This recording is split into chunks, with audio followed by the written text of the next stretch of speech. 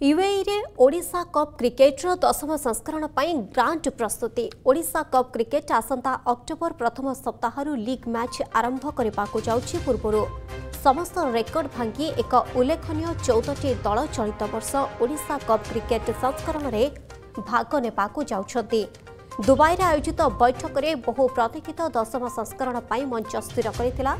Odisha cup cricket ଟୁର୍ଣ୍ଣାମେଣ୍ଟରେ ଅଂଶଗ୍ରହଣକାରୀ ଦଳର ଉତ୍ସାହ ଏବଂ ଉତ୍ସର୍ଗୀକୃତତା ପ୍ରଦର୍ଶନ କରାଯାଇଥିଲା ୟୁଏଇ କ୍ରିକେଟ କ୍ୟାଲେଣ୍ଡରରେ ବହୁ ପ୍ରତୀକ୍ଷିତ ଇଭେଣ୍ଟରେ ପରିଣତ ହୋଇ ଓଡ଼ିଶା କପ୍ କ୍ରମାଗତ ଭାବରେ ସ୍ଥିତି ଏବଂ ଲୋକପ୍ରିୟତା ମଧ୍ୟରେ ବୃଦ୍ଧି ପାଇଛି।